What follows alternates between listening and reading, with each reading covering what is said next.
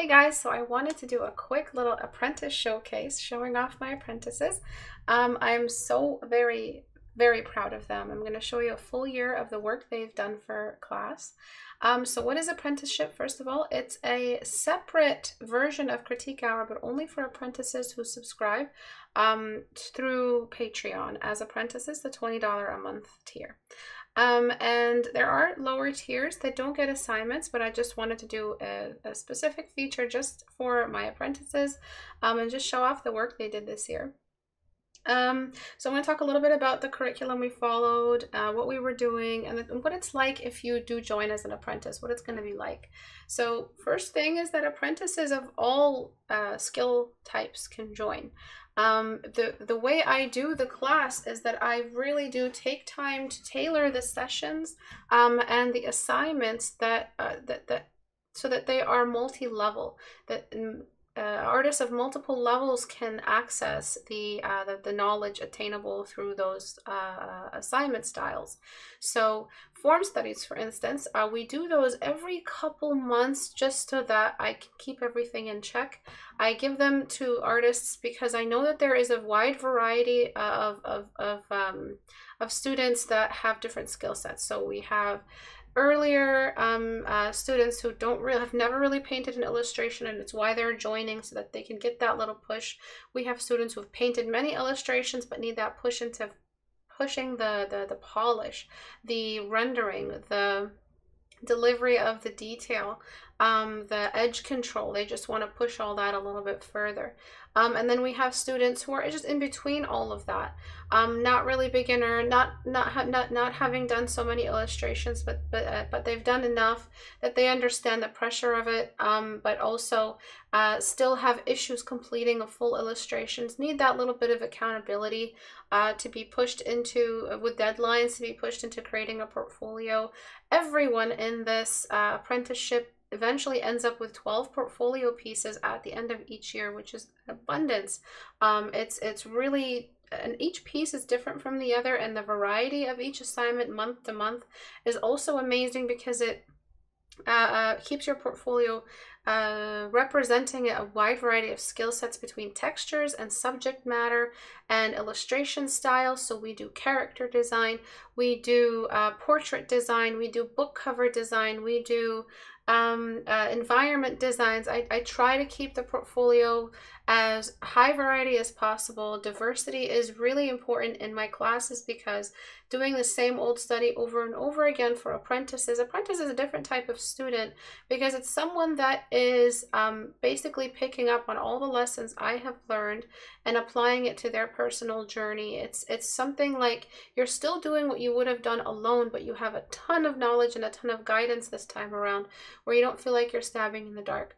Um, so uh, all of that working together, all of that coming together makes you so that you're less afraid of textures, you're less afraid of completing illustrations.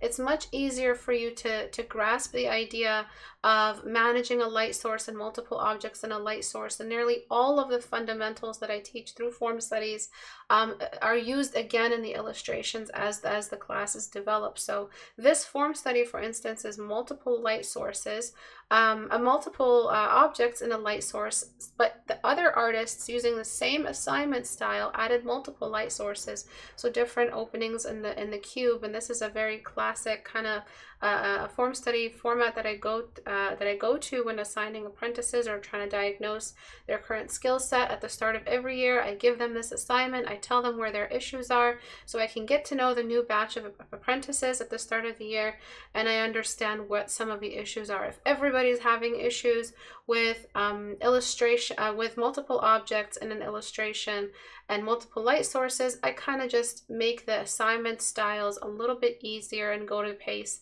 with everyone. So I find like an average pace that I gauge at the start of every year with the, the initial form study diagnosis. So this year's diagnosis, next year's, I mean, is going to be a bit different than this one. Um, and uh, but it's still going to work the same way. I get to know the students through these types of assignments. Um, So some of the stuff that I want to show, first of all, is uh, uh, the variety of, of uh, knowledge and skill that I have in between all the apprentices. Some are a little bit uh, earlier in their journey, and some are really developed in their journey. And you can see how uh, this artist has a lot of control over their edges and understands their edges, but when it comes to organic stuff, they kind of fall off a bit. And that's the kind of stuff that I look for and diagnose we did um, uh, a couple of these form studies throughout the year. Every couple month we do every couple months we do something like this, um, uh, but this is just that initial start of 2021. Um, and I'm really proud of the ability some of these students have. They they jumped in, and some of them, though they're very skilled, have never really tried complex form studies like this. Uh, but they went for it. They they really wanted to improve, and I'm very proud of the amount of improvement some of them have shown. And then we jumped into some an, an, extension of that form study, but we added an extra element. So you can see it's still a form study, but now it has an illustration element to it. Now it's this hanger, there's a small little story attached to it. And that's how I kind of sneakily um, uh, trick them into understanding that they can do, if they can do this, they can do illustrations. Um, and that's typically what I was going for.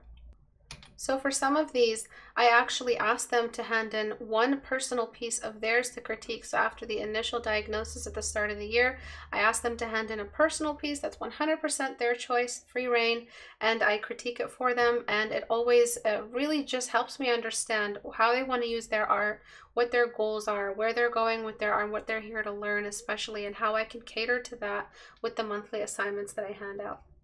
The next assignment that I did in the year was a three-part story uh, assignment that used three different thumbnails of illustrations to tell a basic story.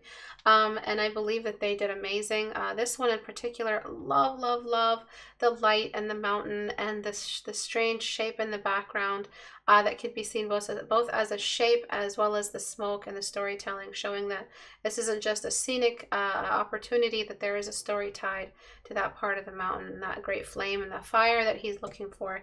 Beautiful piece, and I feel like I'm going to assign this again soon. And here are a couple more examples um, of that storytelling. So we have three uh, different environments and three different store, uh, one basic story that link all of them together. And it's just helping them understand how to tell a story, how to establish a scene. Maybe it's something that they've never done before. Storytelling to this level um, is really just amazing uh, practice for getting into the uh, uh, perfecting your illustrations and starting to think like a movie maker um, and how to frame scenes, how to tell a story with as little frames as possible.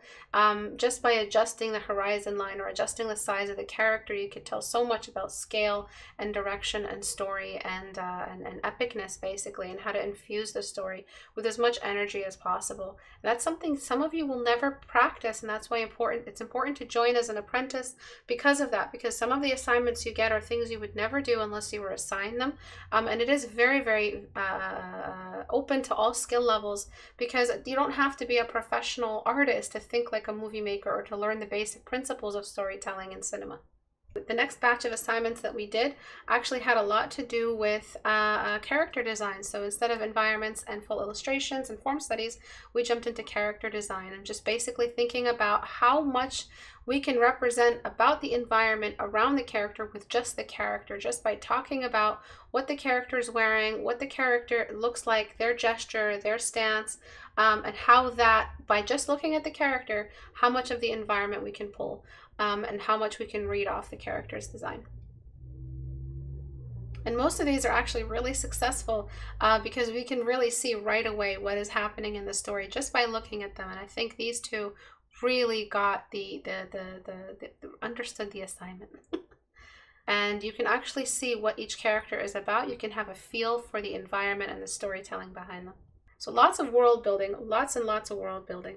The next batch, we jumped right back into uh, environments and we were just looking at how to uh, represent the environment and instill a single character in them, telling as much story as possible.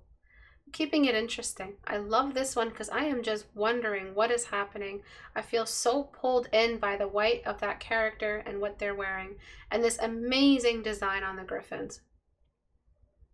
This was actually the um, uh, the assignment you guys had, but theirs is a little bit adjusted um, just to make it a little bit more. Obviously, I have to calibrate each assignment given to the apprentices to match everyone's skill. So I find a good average, and I think they did wonderfully, wonderfully for these pieces.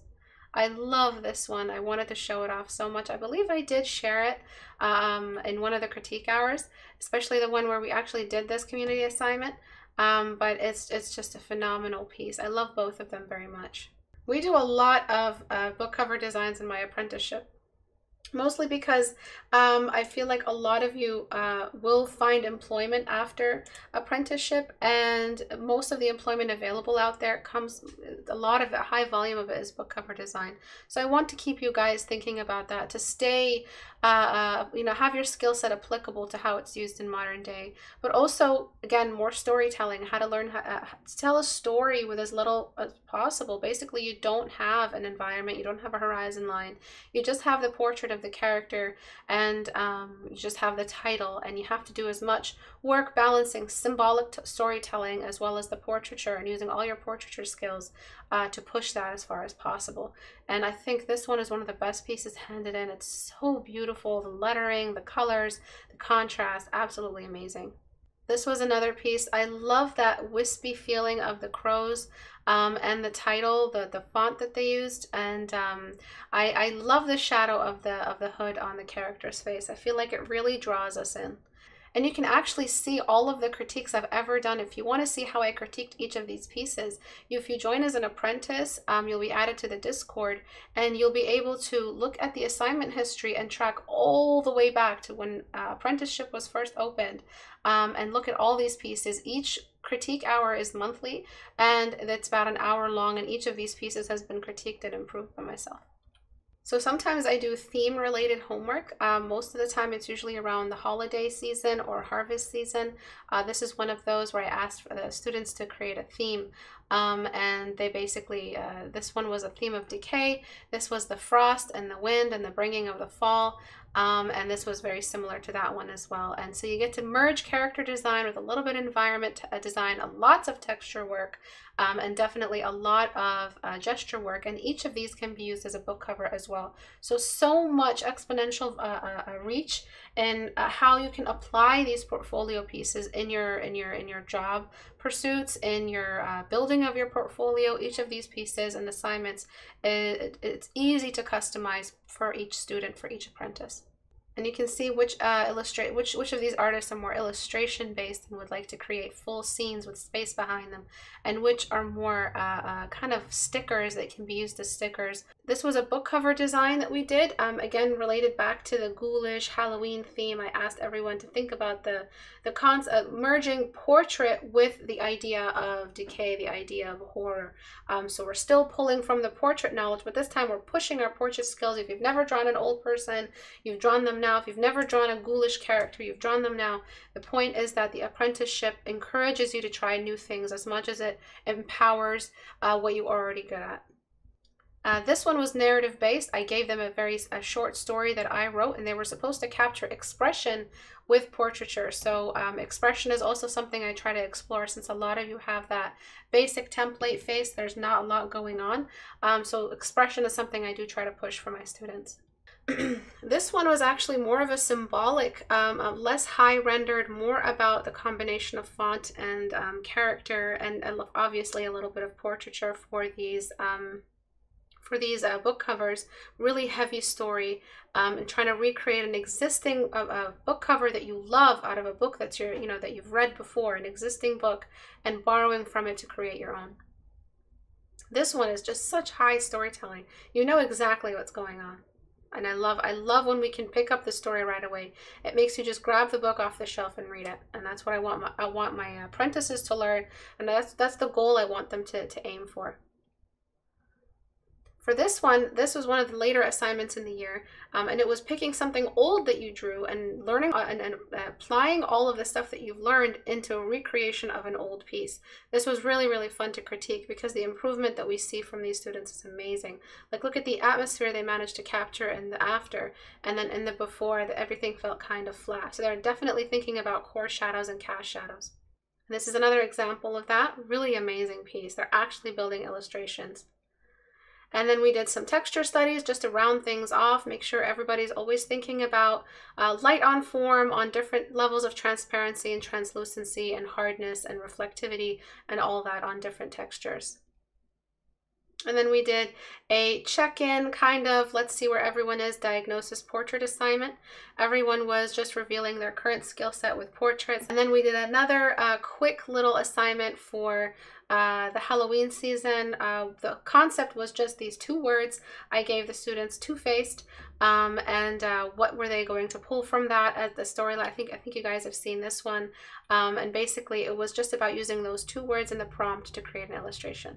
And this is the final assignment of the year, uh, which is that uh, glowing object using all the texture, environment, uh, uh, uh, world building knowledge they've developed the entire year on one last final theme illustration.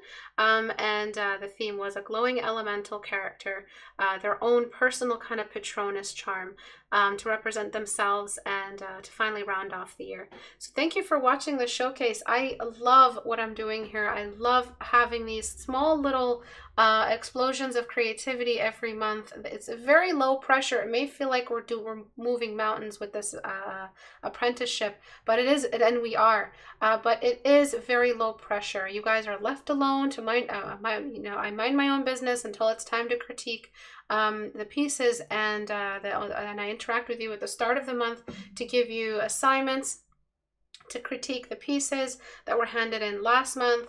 Uh, I distribute rewards all at the same time. Um, and I just try to, to keep it low pressure, but also with that little touch, that little sprinkle of accountability, um, and making sure that you guys have uh, what you have subscribed for, what you've signed up for, and you feel like you're improving, you feel like you've de- you're definitely moving in a direction. If you feel like you are not moving in a direction right now in your art, um, and uh, you feel like it's no longer just moving in the dark, trying to develop your portfolio, you have that little bit of guidance uh, that you need in order to get where you would like to get. And you, you, you introduce yourself at the start of every apprenticeship. So I do want to know where everyone's aiming. It helps me uh, uh, customize these assignments for you guys and make sure that everyone feels included in where the entire apprenticeship is moving. Everyone feels like they're on board. So join me on Patreon if you'd like to be a part of this apprenticeship. The link is in the description. And thank you everyone for watching. I'll see you guys in Critique Hour. Bye.